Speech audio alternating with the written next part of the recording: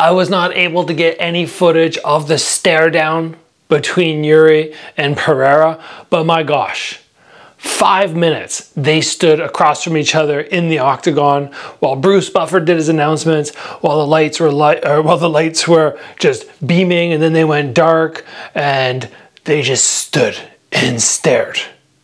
Like four minutes and 55 seconds. Crazy. And of course, like I said, I did a video the other day about what Yuri needs to do to have a chance, but I mentioned you cannot make a mistake.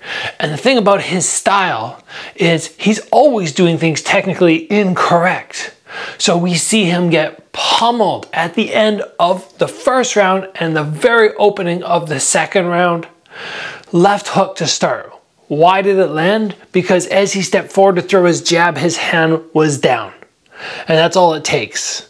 Just a little bit too low, technically tiny bit incorrect, and if Alex Pereira connects, it's done. But he was saved because the hook landed like not even seconds before, like half a second before the end of the first round buzzer.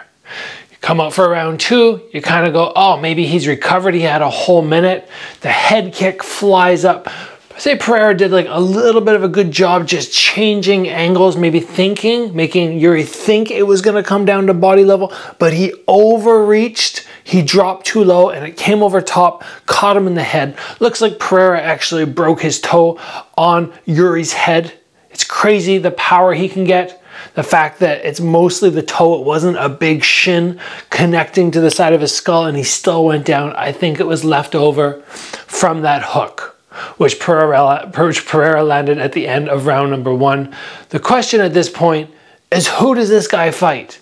He's rolling through the divisions. He's so big. When you look at him next to Yuri, you're like, are these guys the same weight class?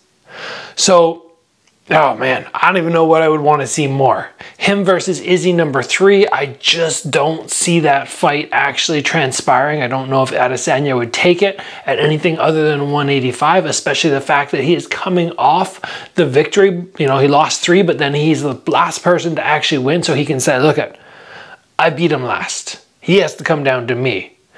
Pereira also up at heavyweight with the size that he managed to go from. He went from 205 to 230. It looks like he could even get a little bigger. So he could realistically get himself up to like 240, 245. If we see him up there, that'd be wild. It's crazy. Like I fought with uh, on a card with Alex Pereira back in oh, on Glory 2014 when I was doing a contender tournament. Had to fight um, two times. There were four opponents in, in the uh, tournament, and Alex Pereira was in an eight man tournament. He got knocked out very early. I remember watching and being like, oh, this guy's good, but technically he has some things that are wrong. He makes it work. So exciting to watch this guy fight. Was that what you guys were expecting? Let me know in the comments below if you were surprised, if you thought Yuri had a chance. Let's call it there, everybody. I'll see you back here soon for another video.